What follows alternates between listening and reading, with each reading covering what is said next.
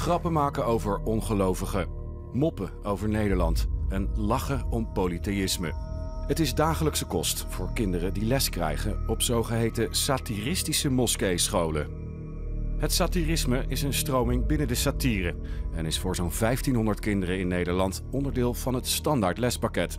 Blijkt uit onderzoek en nieuwsuur.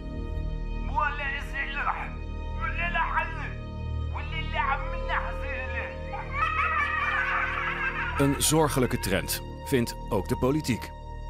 Ja, als je het onderwijs gebruikt om een beetje grapjes te gaan maken, eh, mopjes te vertellen in de klas.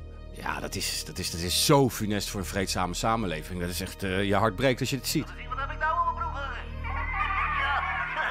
Maar ook binnen de moslimgemeenschap is veel kritiek op het satirisme. Ja, ik kan er niet om lachen. Ik vind het niet grappig. Je gaat niet eh, in een moskee een beetje satiristische grapjes maken. Hè? Moet je niet doen. Moet je gewoon niet doen. Je moet wel een beetje serieus blijven.